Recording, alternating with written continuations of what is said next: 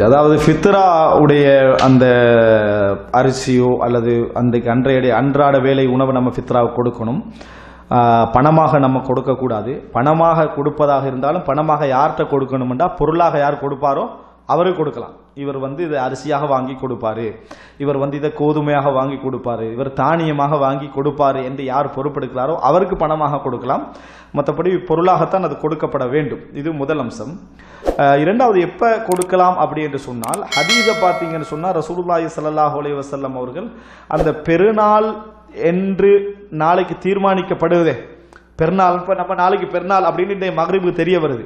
அதுக்கு பின்னால தான் ஃபித்ரா கொடுக்கணும் என்றது சுன்னா அதாவது பிறை கண்ட பின்னால நாளைக்கு பெருநாள் என்று இன்றைக்கு பிறை கண்டு கன்ஃபார்ம் ஆகுது. அதுக்கு பின்னால தான் நம்ம என்ன செய்யணும் அந்த ஃபித்ராவை கொடுக்க வேண்டும் என்பது சுன்னா ஆனாலும் கூட அதில் மஷக்கத்து ஏற்படும் என்றால் கஷ்டம் ஏற்படும் என்றால் உதாரணமாக வந்து அந்த மகரிபுக்கு பிறகு நீங்கள் வந்து உங்களுக்கு கொடுக்கக்கூடிய வாய்ப்பு இல்லாமல் போகும் என்கின்ற ஒரு சந்தர்ப்பம் இருந்தால். உதாரணம் எதுக்கு முன்னால் கொடுக்கணும்? அடுத்த நாள் நோன்பு பெருநாள் கொண்டாடுறதுக்கு முன்னால் நீங்கள் கொடுக்கவும் வேணும். மகரிபுக்கு பின்னால் கொடுக்கவும் வேண்டும். இப்படியான சிரமங்கள் என்ன செய்யுது அந்த இடத்துல அது இருக்குமாக இருந்தால் இந்த டைமுக்குள்ளே நம்ம கொடுக்கணும். அந்த டைமுக்குள்ளே கொடுப்பதில் சில சிரமங்கள் இருக்குமாக இருந்தால் அதுக்கு முந்தி ஒரு நாள் அல்லது அதுக்கு முந்தி இன்னொரு ஒரு நாள் முந்தி கொடுப்பதில் எந்த விதமான ஒரு நாள் ரெண்டு நாள் முந்தி கொடுப்பதில் எந்த விதமான தடையும் இல்லை. இதுதான் பல இஸ்லாமிய அறிஞர்களுடைய நிலைப்பாடு. மாற்றமாக நோன்பு ஆரம்பத்திலேயே கொடுத்துடுறது நோன்பு நடுப்பத்தில் கொடுத்துடுறது கடைசி பத்தில் கொடுத்துடுறதுன்றது தவறு. இதில் வந்து நம்ம பெருநாளைக்குத்தான் அந்த உணவு உதவணும். நம்ம கொடுக்கக்கூடிய உணவு பெருநாளைக்கு உதவணும் அது. அதுக்காக வேண்டித்தான் நாளை பெருநாள் என்று பிறை கண்பட்ட பின்னால் அதை என்ன செய்யணும்? கொடுக்கணும்னு சொல்றது. அந்த பெருநாளைக்கு நாளை பெருநாளைக்கு போய் உதவுகின்ற அமைப்பில் உங்களுக்கு மகரிபுக்கு முன்னால் கொடுக்க முடியாத ஒரு சுச்சுவேஷன் வருமாக இருந்தால் நம்ம அதுக்கு முந்தின ஒரு நாளில் என்ன செய்யலாம்? அதை நம்ம கொடுத்து கொள்ளலாமே தவிர மற்றபடி நம்ம எப்படி நடந்து கொள்ளக்கூடாது அப்படி என்று சொன்னால் முந்திய பத்து அதுக்கு முந்தின பத்து அல்லது ரமலான் வருவதற்கு முன்னால் கொடுப்பது கூடாது. இன்னும் சிலர் என்ன செய்கிறாங்கன்னு சொன்னால் பெருநாள் திடல்ல வச்சு என்ன செய்யறாங்க ஃபித்ரா கலெக்ட் பண்றாங்க. பெருநாள் திடல்ல வச்சு ஃபித்ரா பிழை.